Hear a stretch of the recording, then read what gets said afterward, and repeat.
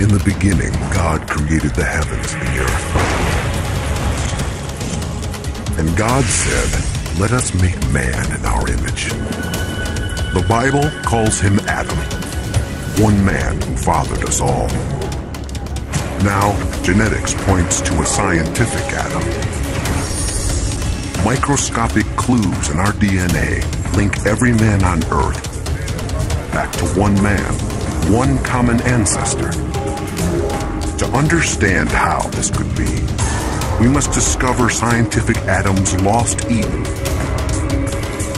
Enter his world and look him in the eye. At an unexpected crossroads of Bible and biology, we're headed on a search for Adam. Yet three of the world's great religions, Christianity, Islam, Judaism, believe in one man who fathered us all.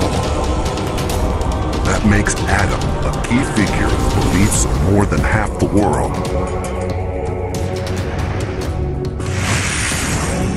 Now, science offers a chance to find a genetic Adam. A single ancestor whose DNA survives in every man on Earth today. From the Inuit of the Arctic, the Amerindians of the Amazon, from the nomads of the desert, to the businessmen of Wall Street. Spencer Wells, a geneticist with National Geographic, will lead us on a journey to identify the scientific Adam and reveal what made him so exceptional that he could father all men on Earth.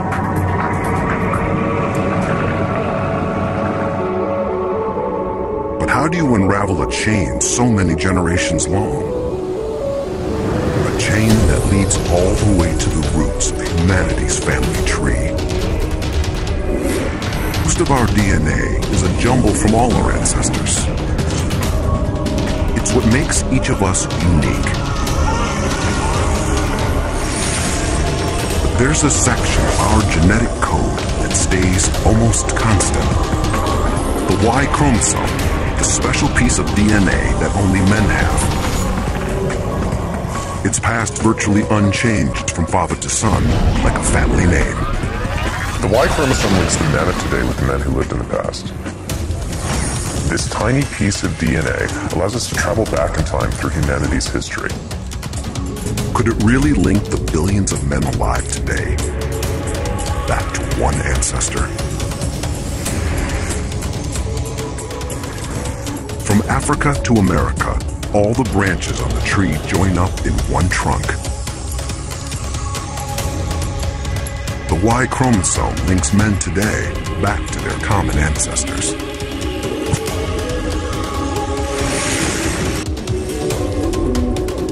Most of the time, the Y chromosome is passed unchanged from father to son, like our last name.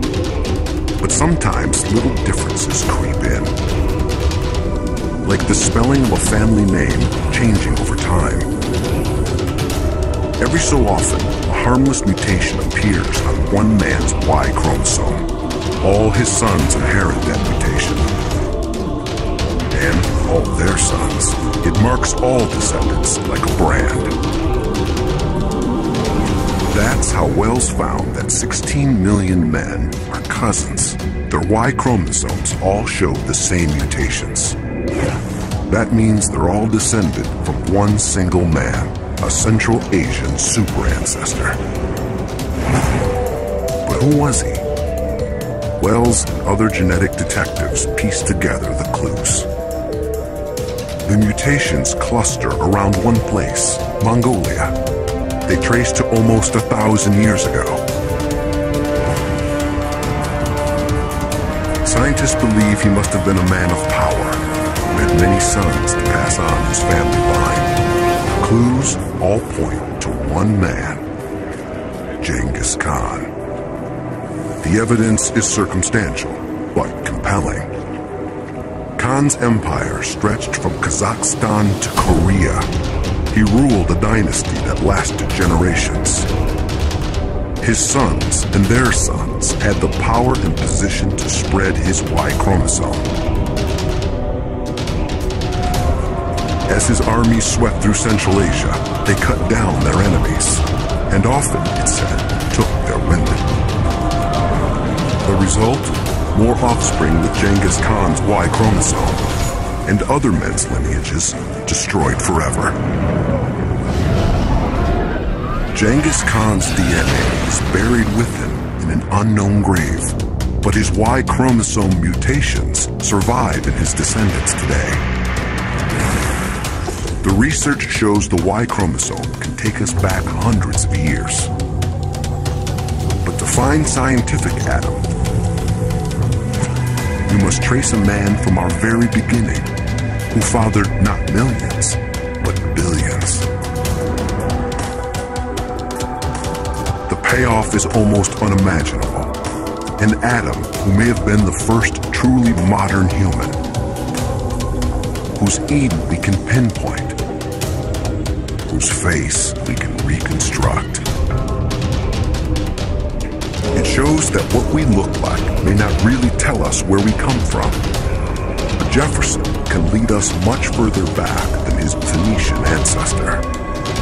Jefferson has a particular mutation that he shares with men from many different countries. With the same techniques used on Genghis Khan, Wells can link this mutation to another critical common ancestor. He's known as M9 he lived around 40,000 years ago. Wells' research suggests this one man could be the forefather of half of all men alive. We're getting closer to Adam.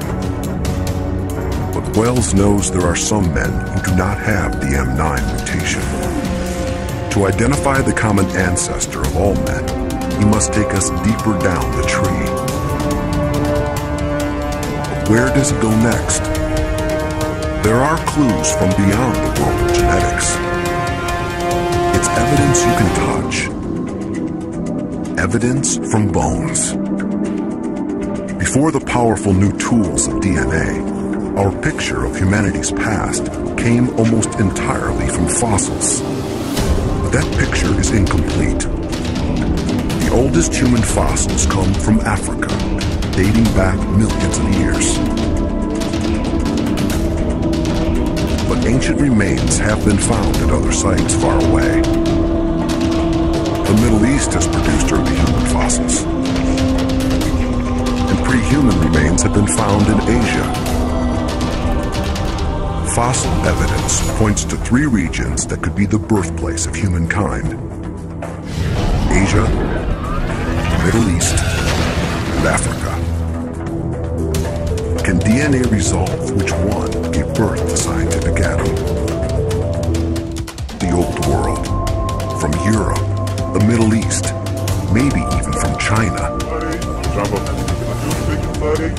Jambo. Jambo. Jambo. History has created a genetic melting pot. And by taking a sample of your DNA, of your genes, we can say something about the people you're related to in the past, your ancestors. If the Y chromosomes here lead to a common ancestor for all these ethnic groups, they could lead us to Adam. You could open your mouth. Wells takes samples from 25 local men. Great. Thank you. Okay. Could open your mouth. Where was your mother born? See you. DNA analysis proves there are men on Pate from all over the place. With ancestors from Africa, Europe, Arabia, India, and the Fertile Crescent of the Middle East. There is more genetic variation on this tiny island of Pate than in many countries. And the samples show something critical. They point to a new super ancestor.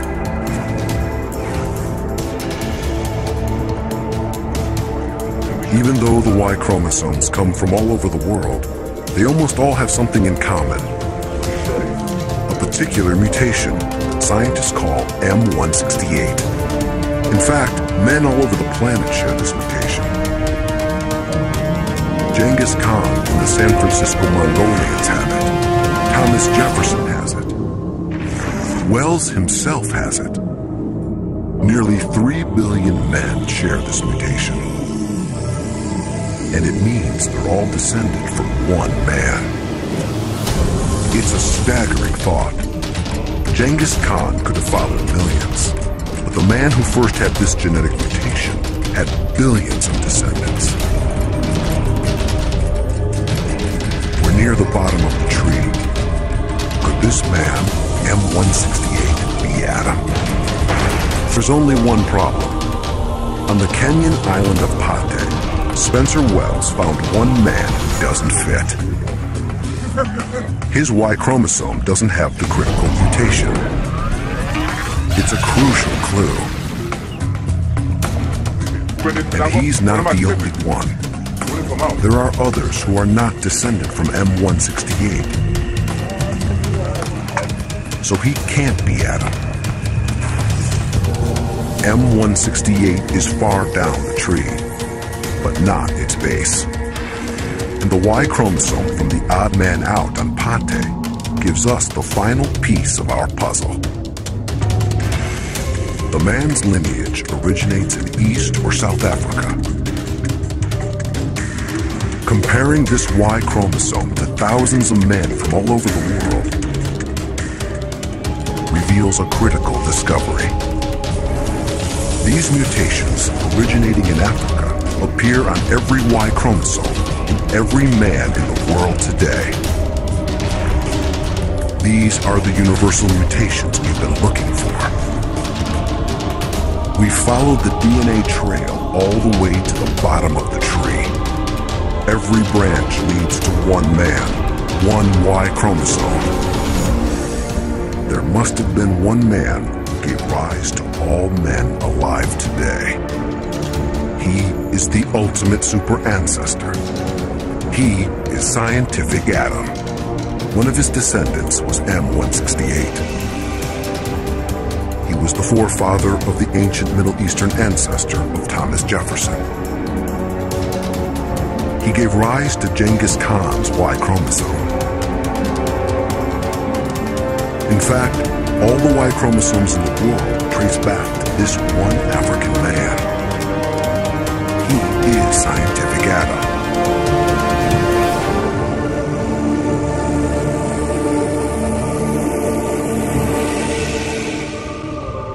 Wells believes the pattern of African Y chromosomes puts his birthplace somewhere in the Great Rift Valley region of East Africa, perhaps Tanzania or Ethiopia. He thinks this is Scientific Adam's homeland.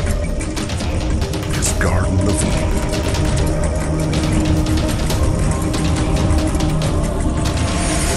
Genetics can date the ancient Y chromosome mutations to calculate the age of Scientific Adam.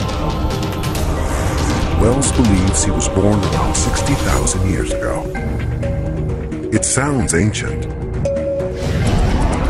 but it means our search for a common ancestor has not led us all the way back to a time of ape men,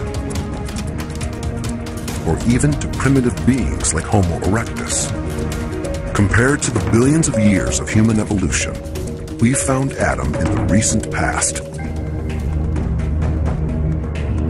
بأيد وإنا لموسعون And the heaven we constructed with strength, and indeed we are its expander. والأرض فرشناها فنعم الماهدون And the earth we have spread out, and excellent is the preparer. أولم ير الذين كفروا أن السماوات والأرض كانتا رتقا ففتقناهما وجعلنا من الماء كل شيء حي أفلا يؤمنون Have those who disbelieved not considered that the heavens and the earth were a joined entity, and we separated them and made from water every living thing? Then will they not believe? وجعلنا في الأرض رواسي أن تميد بهم وجعلنا فيها فجاجا سبلا لعلهم يهتدون And we placed within the earth firmly set mountains, lest it should shift with them. And we made therein mountain passes as roads that they might be guided. وجعلنا السماء سقفا محفوظا وهم عن آياتها معرضون And we made the sky a protected ceiling, but they from its signs are turning away. وهو الذي خلق الليل والنهار والشمس والقمر كل في فلك يسبحون And it is He who created the night and the day, and the sun and the moon. All heavenly bodies in an orbit are swimming. وما جعلنا لبشر من قبلك الخلد أفإن مت فهم الخالدون And we did not grant to any man before you eternity on earth.